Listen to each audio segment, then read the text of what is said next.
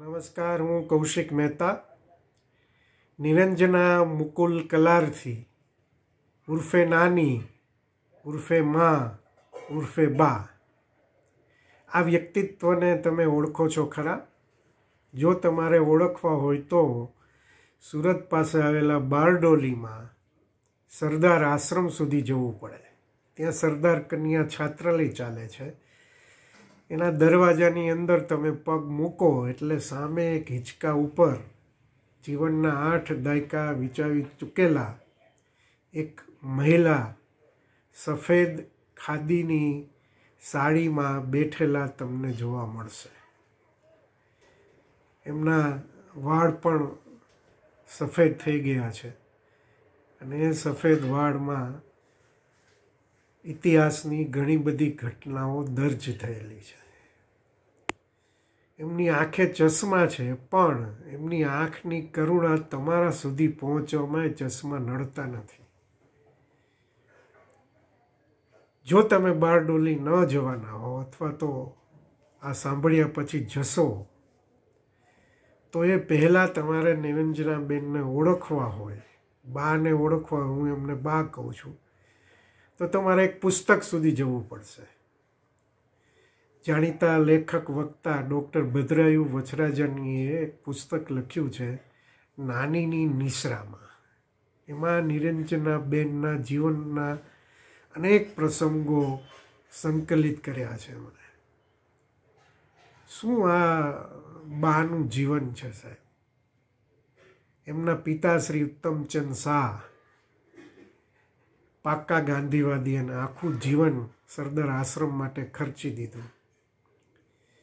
એટલે ગળથુથીમાં ગાંધીના વિચારો મળ્યા એમ કહી શકો તમે. એમને પૂજ્ય શ્રી મોટાનો એકદમ પ્રેમ મળ્યો છે એમ. તમે ખોબો ખોબો ભરીને એમને પ્રેમ મળ્યો છે. અને એમની જિંદગી ઉપર પૂજ્ય મોટાની બહુ અસર છે. રંગ અવધૂત ગાંધીજી, સરદાર, આવા તો અનેક વ્યક્તિત્વ, જુગતરામ કાકા, એમની સાથે એમનું જીવન વીત્યું છે, બાળપણ વીત્યું છે. અને એ બાળપણમાં પડેલા સંસ્કારો એટલા બધા પાકા અને મજબૂત થયા છે કે એનો આજે સમાજને લાભ મળી રહ્યો છે. ઉત્તમચંદ શાહની પુત્રી હોવાથી કાંઈ એમને બહુ વધારે પડતી સુલભ સગવડો મળતી એવું નહોતું. બારડોલીની શાળામાં ભણે છે ને આગળ જતાં ગુજરાત વિદ્યાપીઠમાં ભણવા જાય છે. અને ત્યાં એક અધ્યાપક બહુ ગમી જાય છે, મુકુલભાઈ કલારથી. એમનાથી ઉંમરમાં વીસ વર્ષ લગભગ મોટા. એમને એમ થાય છે કે આ જીવન સાથી હોવા જોઈએ. કોને કેવું? એક તો વીસ વર્ષનો ફાંસલો ઉંમરનો. અને એ પાછા હરિજન હતા એટલે બે મુશ્કેલીઓ ઊભી થઈ. પૂજ્ય મોટા પાસે જાય છે અને કહે છે કે, મને એમ લાગે છે કે આમની સાથે મારે જીવન વિતાવવું જોઈએ. મોટા કહે છે કે, ઉત્તમચંદ તો માનશે, પણ તારી મા અને તારો ભાઈ નહીં માને. પછી પૂજ્ય મોટા કહે છે કે આપણે કંઈક કરીએ. ઉત્તમચંદભાઈને બોલાવીને પૂજ્ય મોટા વાત કરે છે અને ઉત્તમચંદભાઈ કહે છે કે ભાઈ આ બહુ મુશ્કેલીવાળો કેસ બનશે. નિરંજનાબાના બા સંતોકબેનને ખબર પડે છે ને એ બહુ ગુસ્સે થાય છે કે એક તો આટલી ઉંમરનો ફાસલો ને આપણી જ્ઞાતિનો અંતર આ ચાલે જ નહીં. અને તમે માનશો નહીં સાહેબ, બાના ભાઈ, ભરતભાઈએ તો બંદૂક કાઢી. આટલી હદે, કારણ કે આ તો સાહીઠના દાયકાની વાત હતી. બહુ બધી ગરબડો થઈ, પણ પૂજ્ય મોટાએ પૂરો ટેકો કર્યો. ઉત્તમચંદભાઈએ પણ પૂરી સંમતિ આપી અને બંનેના લગ્ન થાય છે. સંતોકબેન હજી એ લગ્નને માન્યતા નથી આપતા. એમના ભાઈ પણ દૂર રહે છે. ઇવન બાને ઘરે પુત્રી અવતરે છે પ્રજ્ઞા. તો એનું મોઢું પણ એમના ભાઈ જોતા નથી. સમય વીતતો જાય છે.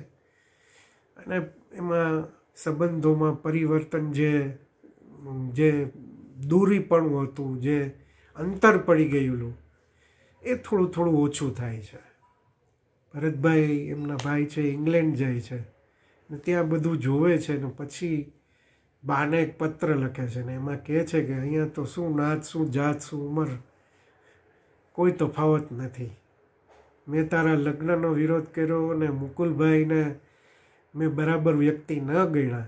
મને આજે એનું દુઃખ છે, હું તારી માફી માગું છું. સંતોકબેન પણ સમય જતાં જતાં એ એમને લગ્ન સ્વીકાર્ય થયા. આવા બા. ગાંધી અને સરદાર જેને અડી ગયા હોય, જેને પૂજ્ય મોટા અડી ગયા હોય, એના જીવનની શું વાત કરો તમે સાહેબ?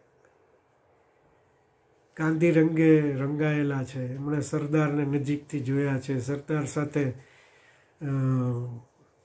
કેટલી બધી યાદગાર પળો વિતાવી છે.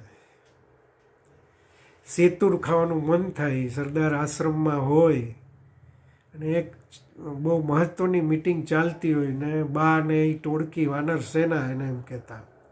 પહોંચી જાય. સરદાર કહે છે, શું છે? તો કે, અમારે સેતુર ખાવા છે. અને સરદાર મિટિંગમાંથી ઊભા થાય, બધાને કહે કે, તમે ચર્ચા કરો, ત્યાં હું વાનર સેનાનું કામ પતાવીને આવું. સરદાર ખુદ આમ ઠેકડા મારી મારીને સેતુર તોડે અને છોકરાઓને ખવડાવે. આવા સરદાર સાથેનો એમનો નાતો આવા તો અનેક પ્રસંગો સરદાર સાથેના બા આ પુસ્તકમાં વર્ણવે છે. ગાંધીજી પાસે પણ ત્યારે ઉંમર નાની હતી. પણ એક બહુ સરસ પ્રસંગ એમણે નોંધ્યો છે કે ગાંધીજી દર વર્ષે અમુક સમય એમણે કહ્યું હતું કે આઝાદી નહીં મળે ત્યાં સુધી હું સાબરરાત્રી સાબરમતી આશ્રમ નહીં જાઉં. અને સરદારે કહ્યું તો તમે બારડોલી આવો. એટલે દર વર્ષે એક મહિનો ગાંધીજી સરદાર આશ્રમમાં આવતા. એમાં એકવાર એક અંગ્રેજ પત્રકારને એમણે મુલાકાત આપેલી. અને સવારમાં ગાંધીજી થોડું વોકિંગ કરે ને પછી માલિશ કરીને પછી નાવા જાય. એ દરમિયાન ઓલા પત્રકાર આવે છે ને કહે છે કે ભાઈ મારે વળતી ગાડીમાં તો જવાનું છે, પછી ગાડી મળશે નહીં. હવે ગાંધીજી બાથરૂમમાં સ્નાન કરે, કોણ કહેવા જાય? ઉત્તમચંદભાઈએ હિંમત કરી અને કહ્યું કે આવું છે અને એમને પાછું જવું પડે એમ છે. ગાંધીજી કહે છે, બોલાવો. અને સાહેબ, તમે બિલીવ નહીં કરો. એ અંગ્રેજ પત્રકાર બાથરૂમની બહાર ઊભા ઊભા ગાંધીજીને સવાલો કરે છે ને આ રીતે આખો ઇન્ટરવ્યૂ થાય છે. આવા પ્રસંગો. પછી બાને એમ થાય છે કે કે મારે એણે ઘણા બધા એવા આજુબાજુમાં એવા કિસ્સાઓ જોયા ને એના ઉપરથી એને પ્રેરણા મળી કે કન્યા વિદ્યાલય કરવી જોઈએ. આસપાસનો જે ડાંગ, આહવા, બારડોલીનો જે પછાત વિસ્તાર, અતિ ગરીબી, દારૂણ ગરીબી, આજે પણ છે. એવા પરિવારોની દીકરીઓને ભણાવવી જોઈએ. એમણે પૂજ્ય મોટાને વાત કરી બારડોલી ન કરવું જોઈએ, કારણ કે પિતા ત્યાં કામ કરે છે. પણ પછી મોરારજીભાઈને બધાનો મત એમ થયો કે ભાઈ, આપણે સમાજ માટે કરીએ છીએ. અને ઓગણીસો ઓગણસિત્તેરમાં સરદાર કન્યા છાત્રાલયની શરૂઆત થાય છે સાહેબ. અને અહીં એવી ગરીબ પરિવારની દીકરીઓ આવે છે. એ ગરીબીની શું વાત કરી એક પ્રસંગ બા કહે છે કે એક અંતરિયાળ વિસ્તારમાં જાય છે અને જોયે છે તો ખાવા પીવાની બધી મુશ્કેલીઓ છે. વાતચીતમાં એ બેન કહે છે કે અમે કંદ ખાઈ લઈએ. એ વિસ્તારમાં એક પ્રકારનો કંદ વનસ્પતિ ઉગે છે. એ કંદ તમે ખાઈ લો એટલે તમને ઘેન ચડી જાય. એટલે બેન કહે છે કે એકાદ સમયનું અમને ભેગું થઈ જાય ખાવા પીવાનું તો સાથે આ કંદ ખાઈ લઈએ. પછી આખો દિવસ સૂતા રહે એટલે બીજા વારનું, બીજા ટંકના ખાવાની જરૂર ન રહે. બા બહુ હલબલી જાય છે. અને આવા પરિવારોને રાશનથી માંડી બધી મદદ પણ કરે છે. એકવાર એક બાઈ આવી જ રીતે કોઈ પછી ગરીબ વિસ્તારમાંથી આવે છે અને કહે છે કે, આ મારી દીકરી છે બા. તમે એને અહીંયા ભણાવો ને મોટું માણા બનાવો. બા જોવે છે, બીજી વિગત પૂછે છે. પછી ઓલી બાઈ સાવરણી એના હાથમાં હોય છે. તો કે આ સાવરણી શું લઈ આવ્યા છો? તો કે બા, મારી પાસે તમારી આ કન્યા વિદ્યાલયની ફી તો છે નહીં, પણ હું આ ત્રણ સાવરણી લઈ આવી છું અને તમને આપું છું આ ત્રણ વર્ષની ફી સમજીને સાવરણી રાખો. બા એ દીકરીને પોતાના પડખામાં લે છે અને કહે છે કે હવે તમે ચિંતા ન કરો. એ દીકરીનું નામ રામી. ભણવામાં હોશિયાર. ભણતી જાય છે ધોરણ બારમાં. એમના બાની દીકરી પ્રજ્ઞાબેનને બે સાથોસાથ બંને બહુ જ તેજસ્વી. બારમામાં બહુ સારા માર્ક આવે છે. પ્રજ્ઞાબેન ડૉક્ટર થવાના હતા. તો આ રામીને પણ એમ થયું કે હું પણ ડૉક્ટર થાઉં. અને બા એમને સુરતમાં એડમિશન અપાવે છે. અને એ રામી ડૉક્ટર બને છે. અને આજે પણ એ બારડોલીમાં સામૂહિક આરોગ્ય કેન્દ્રમાં નોકરી કરે છે. લગ્ન નથી કર્યા. એણે પોતાના આખા પરિવારના ભાઈઓ, બહેનો બધાને ભણાવ્યા અને બધાને સેટ કર્યા. આજે એ રામીબેન, ડૉક્ટર રામીબેન, સ્વરાજ આશ્રમમાં કોઈ પણ બીમાર પડે તો એ સેવા આપે છે. અન્ય, અન્યત્રે પણ સેવા આપે. આવા તો અનેક કિસ્સા. એક દીકરી તો લંડન જઈ લેસ્ટરમાં શિક્ષિકા છે. અહીંયા આવનારી એક દીકરી એકદમ જીવનનું શિક્ષણ, જીવન ઘડતરનું શિક્ષણ મળે છે. સવાસો છોકરીઓ હોય છે, હોસ્ટેલની પણ વ્યવસ્થા હોય છે. અને અહીં ભણેલી દીકરી કદી જીવનમાં નાસીપાસ થઈ હોય એવો એક પણ કિસ્સો નથી. ચારથી પાંચ હજાર છોકરીઓ, દીકરીઓ અત્યાર સુધીમાં ભણી છે. આવા બા, તમે સરદાર આશ્રમમાં એને ખુલ્લા પગે ચાલતા જોવા મળે તમને. એસી આઠ દાયકા થઈ ગયા જીવનના, પણ હજી એમને કોઈ થાક નથી. એમની આંખોમાં કરુણા સિવાય બીજો કોઈ ભાવ જ જોવા નથી મળતો. અનેક લોકોને અનેક અનુભવો થયા છે આ બાના સરદાર સંગોષ્ઠી દર વર્ષે થાય. અને મોરારી બાપુ દર વર્ષે ત્યાં આવે. આગલા દિવસે આવે.